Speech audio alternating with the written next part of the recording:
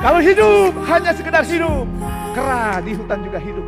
Kalau kerja hanya sekedar kerja, kerbau di sawah juga kerja.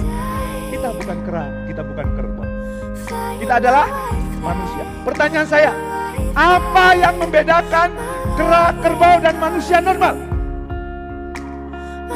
Yang membedakan kera, kerbau tidak punya dream. Manusia normal itu harus.